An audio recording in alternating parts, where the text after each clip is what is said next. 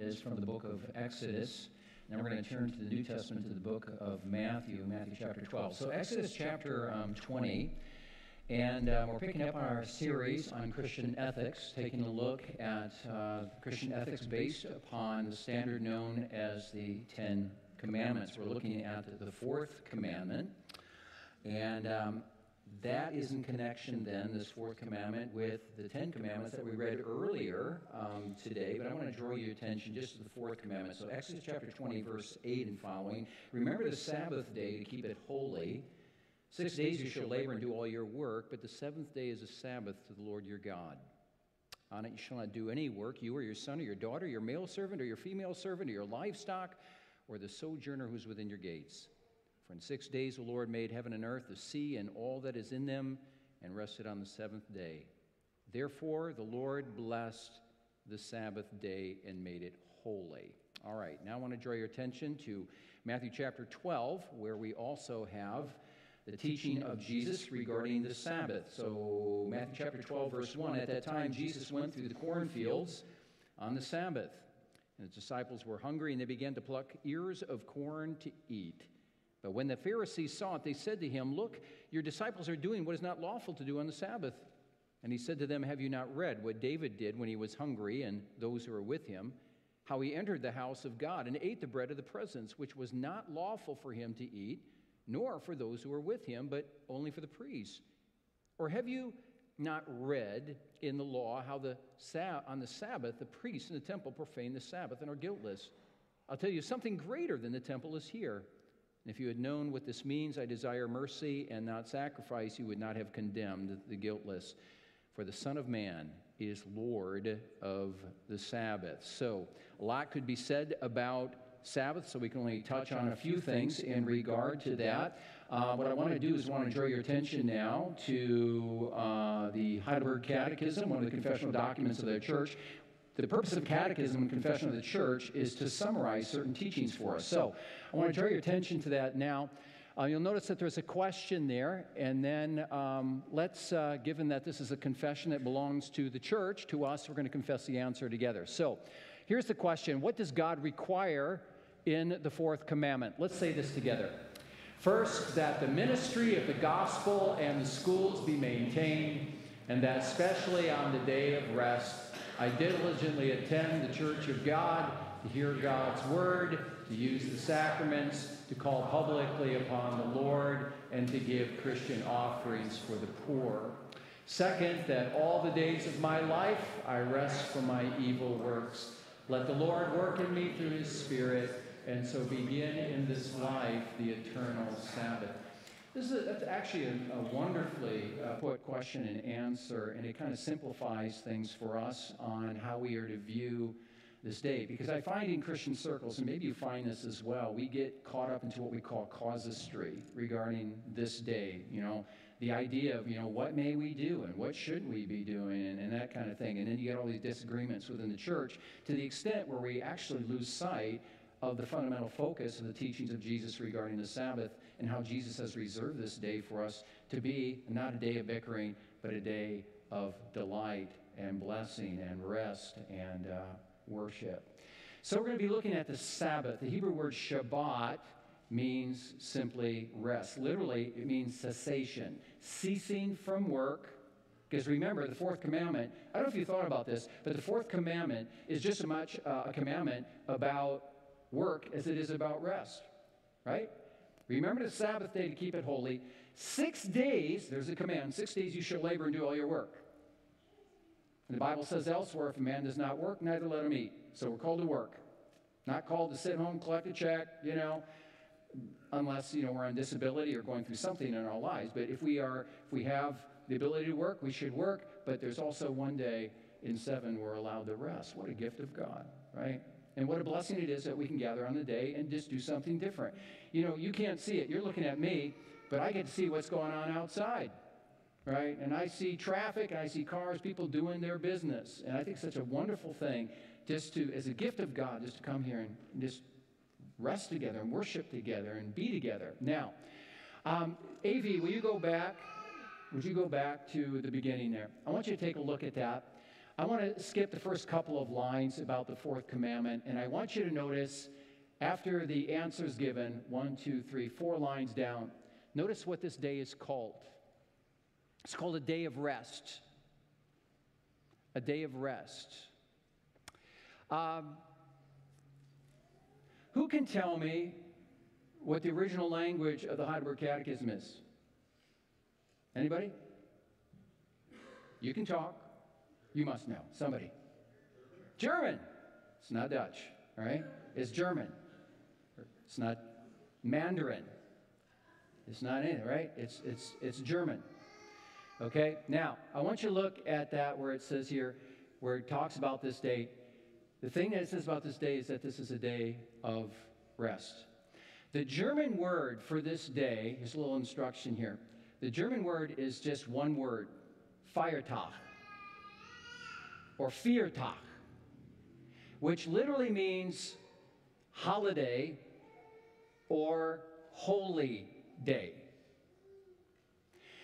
And the fundamental concept of holy or holiness means set apart.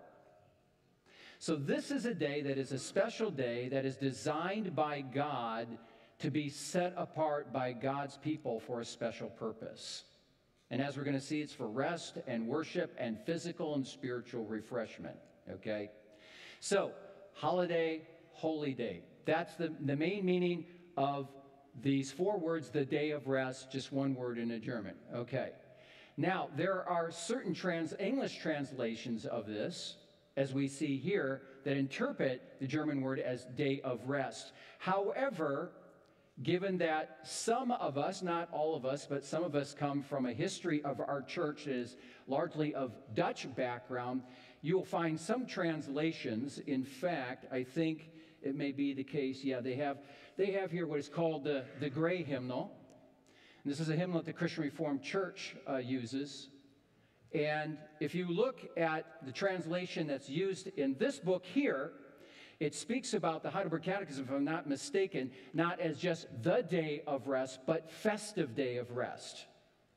They add the word festive. Why? Probably drawing upon Isaiah 58, where it says that the Sabbath day is to be a day of delight among God's people. So if we go with that translation, festive day of rest, the word festive connotes or carries with it two ideas. One is that this day is not to be a day of heaviness and drudgery, but it's to be a day of delight, it's to be a day of rejoicing. I mean, the, the, psalmist says that, right? He says, This is the day that the Lord has made. I will rejoice and be glad in it. I was glad when they said to me, Let us go to the house of the Lord. So this is to be a day of joy, not drudgery, not long faces, but joy of blessing. Festive, a festive day. So, a delightful, festive day, but the word festive also carries with it not only the connotation of delight, but also of, and this may seem strange to you, but of activity. And you go, wait a minute, I thought we were supposed to rest on this day. Yeah, we're supposed to rest on this day, but that doesn't mean, resting does not necessarily mean just kind of sitting down and staring at a wall all day and making sure, you know, as long as I don't uh, exercise too much, or if I don't walk too much, or, you know, whatever, right? This is today to be a day of, yes, physical and spiritual rest, but it's also to be a day of activity, a day of activity, especially in connection with what we're doing right now, which is worship.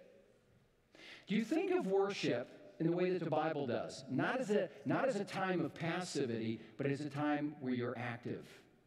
Why do I say that?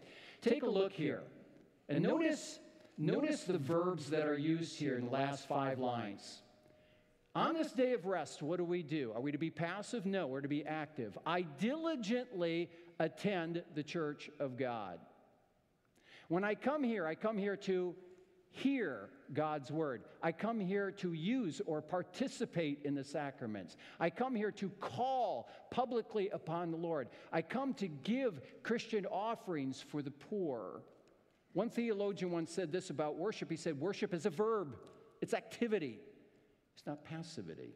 You don't come here just to sit, but to engage the Lord in active worship. That's biblical worship, holistic worship. Now, why do we take time to bring that out?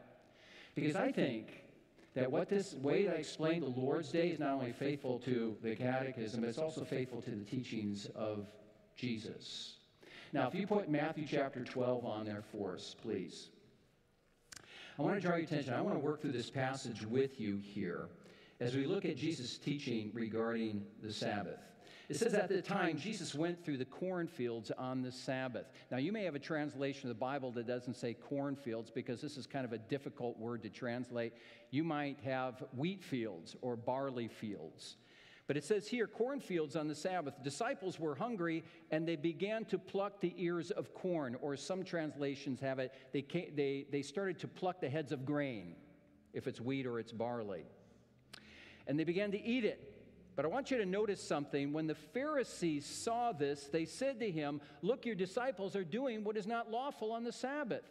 And, and our, your, our first reaction is like, these Pharisees are really tight guys. I mean, really, you're just somehow you're just picking these heads of grain and you're eating them, and they're saying you're violating the Sabbath. Why would they say that? Because the Pharisees believed that, the, that, that, that this eating of the heads of grain was just actually uh, a form of harvesting. And he said, You shouldn't be harvesting on the Sabbath. That is working, you know. And so they condemned the Pharisees. And what do they say? They're, not, they're doing what is not lawful to do on the Sabbath. And we ask, Is that really true? Now, when it says here that the Pharisees said you're, you're doing what is not lawful to do on the Sabbath, we're, we're, the question we have to ask ourselves is what standard are they working with? Because if you take a look at the Bible as a whole, even if you look at the Old Testament, it does not get very legislative regarding how we're to observe this day. It just doesn't. But you know what the Pharisees did? What the Pharisees did is they tried to build a fence for people around the Sabbath so that they could keep the Sabbath. Because at the time of Jesus, the Jews were breaking covenant with God and they were turning their backs on God. And the, the Pharisees thought of themselves as a reform movement within Judaism. So we got to get our people back to the Sabbath. So what did they do? They actually went beyond the Bible and they devised a number of rules and regulations known as the traditions of the elders or of the rabbis that were rules and regulations that were applied to the people so that they could be helped in maintaining the sanctity or the holiness of the Sabbath. Do you know how many rules they put together? 1,500. Now, in a sense, when Archie got up and he was talking about, you know, all of what we may do here and what we should not be doing, I mean, that just goes with taking on a church. But you know, if, if, you, if you ever, I don't know if it was emailed out to you, I, I got it, where it's like, there's like a list of three and a half or four pages about, you know, how we're supposed to use this room and that room, and, and that, that's all fine. But after a while, you look at this like, boy, I don't know how, how am I going to, how am I going to keep all these regulations in my head, you know? That's the way it was that's the way it was. Now, I'm not, I'm not saying it's a bad thing. But when you have so many rules and you have so many regulations, it takes time for you to try to figure them all out and, and, and remember them. Well, can you imagine 1,500? The people are saying to themselves, How in the world am I going to remember these? And how am I going to keep all these rules and regulations? So, what the Pharisees thought were good for the people, eh, not so good. It actually became a huge weight on their shoulders. Jesus, no, no, no, this is not the original design of the Sabbath. Come on. Well, these disciples are doing what was not lawful according to the traditions of the elders. So, what Jesus says to them is this He says, You know what? You got all these rules. You know what conservatives sometimes do, Jesus is saying? They develop all these rules and regulations, and then there has to be strict compliance to these rules and regulations. No exceptions. Jesus says, You know what? There are exceptions on the Sabbath. He goes on to say, Have you not read what David did when he was hungry and those who were with him? How he entered the house of God and ate the bread of presence, which was not lawful for to eat, him to eat, nor with those, but only for the priests. Here was a law in the books. This was a table of showbread. Disciples were not to eat, or um, uh, people were not to eat at the table of showbread. Only the priests were supposed to eat it. But here's David running from King Saul. He's hungry, and so, as an act of mercy and necessity, the priests actually gave him the bread to eat. He says sometimes you have these, these laws of compliance sometimes there are exceptions to the rule. This is one of them. These are called works of mercy and necessity. Jesus goes on to give one other exception. He says, verse 5 Have you not read in the law how the Sabbath, on the Sabbath, the priests in the temple profane the Sabbath and are guiltless? Okay, so we're called to rest on this day, a glorious rest. But do you see me resting right now? I mean, the priests in the temple, that was, their, that, that, was, that was a busy work, and they would have to do the work on the Sabbath day. What am I doing on the Sabbath day? What am I doing on this day? Preaching, leading worship, doing all kinds of stuff. Am I breaking the Sabbath? Jesus saying no. So there are works of necessity, and there are works of mercy, and there's works of what we call piety or religion. The point is that Jesus provides greater latitude for the Sabbath than the Pharisees. I think sometimes we have to find, maybe some of us have experienced this, that when you read your Bibles, Jesus all, uh, provides more freedom on this day maybe than what you grew up with. Look at the final thing for the sake of time. Jesus says in verse 8, the last thing he says here, he says, For the Son of Man is Lord of the Sabbath. What is he saying there? Should I tell you what he's saying? He's saying this. It's going to sound rather crass, but Jesus is saying, when it comes to the Sabbath and how we view the Sabbath, I'm boss of the Sabbath. I'm boss of the Sabbath. I give proper meaning to the Sabbath. As the Son of God, I give proper application of the Sabbath. And I bring the Sabbath back to its original intent, back to its original design. What is the original design of God on this day? is that this day is to be a day not of drudgery, not first and foremost rules and regulations, but this day is to be a day of rest and worship and physical and spiritual refreshment. Do you notice that that is really the emphasis of, of the catechism? Can you go back to Heidelberg Catechism? Right there. Good. Perfect. Notice, second, on this day, that all the days of my life I rest from my evil works. Let the Lord work in me through his Spirit, and so begin in this life the eternal Sabbath rest. This day points ultimately to the rest that you and I have in Christ. We rest from the guilt of sin, the power of sin, and the penalty of sin. We are to rest from sin all the days of our lives. But you know what the Lord does on, for us on this day? He allows us in a special way to get away from all the distractions and the noise of life that so easily lead us away from God, from Jesus, and fall into various sins. He says, On this day, I give you this day to come into my presence. And I give you this day to be refreshed by my spirit. And when I give you that on this day, you know what you get? And what I get? We get a, ta- we get a, a, a taste of what the Bible calls the eternal Sabbath rest, where one day, you know what? We get to leave this earth and we get to move on into heaven eventually in the new creation. We won't have to struggle with sin and we won't have to struggle with the effects of sin anymore. Crying, mourning, pain, death, all these things will be done away with, for we will be in glory with our Lord, beholding Him face to face. So I tell you why this day is so important? The Lord says, I set apart this day to take what is over here and what's in store for you, and I'm bringing it down to this earth right now so that what we experience here below in our worship and on this special day is just a beautiful foretaste of the kind of rest and worship and beauty that we will experience one day in heaven. Now, that's a positive way of looking at the Lord's Day, isn't it? And that's the kind of attitude that we are have to have together. So, really, you know what the Lord is saying? He's saying this day is like a spiritual oasis for you. We're in the wilderness of life. We're in the desert of life and the commotion of life and the movement of life. And he says, I allow you to come together, especially on this special day, to, to, take, to, to bend down and, and drink of that oasis. The question is, Are we willing to carve out a Sabbath? And are, we, are we willing to take the time to bend over and drink from this oasis? Bend down and drink. That takes self discipline, doesn't it? It does. But we need it. Um, can you put on the quote from a man named Dallas Willard there? Did I give that to you? Oh. I'm sorry. My bad, as they say. Listen to this. He says, The Sabbath offers us the very necessary time to simply do nothing. It reminds us that we don't have to do in order to be. It allows us to break the power of busyness and distraction, and in the end, helps us not only to find ourselves, but opens the way to God to find us in new ways.